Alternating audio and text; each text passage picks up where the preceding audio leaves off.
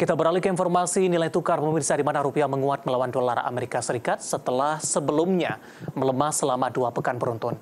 Kurs rupiah di pasar spot tampil perkasa hingga pertengahan perdagangan Senin siang tadi. Dikutip dari berbagai sumber, rupiah spot berada di level 15.167 per dolar Amerika Serikat. Posisi ini menguat di 0,28 persen dibandingkan penutupan Jumat di 15.210 per dolar Amerika. Sebelumnya, rupiah menguat melawan dolar Amerika Serikat di awal perdagangan Senin setelah sebelumnya melemah dalam dua pekan beruntun di 15.185 per dolar Amerika atau mengalami penguatan di 0,1 persen di pasar spot di mana dalam dua pekan terakhir pelemahan rupiah tercatat sekitar 2 persen, di mana tekanan besar datang dari eksternal pemirsa, sebab ada risiko Bank Sentral Amerika The Fed akan kembali agresif menaikkan suku bunga.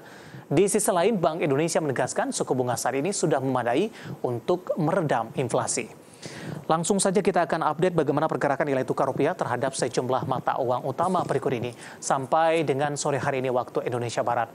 Terhadap dolar Amerika Serikat bergerak di 15.154 rupiah, terhadap euro di 16.197 rupiah, pound sterling di 18.232 rupiah dan di Jepang di 113,01 rupiah.